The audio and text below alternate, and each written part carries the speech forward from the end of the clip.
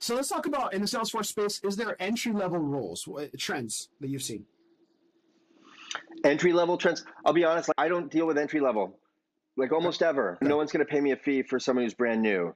So I'm just yeah. not that involved in it. I think okay. I will tell you one thing I have seen is going the admin route. It's definitely getting flooded right now. Right there's a, there are a lot of people who have they've done the certification.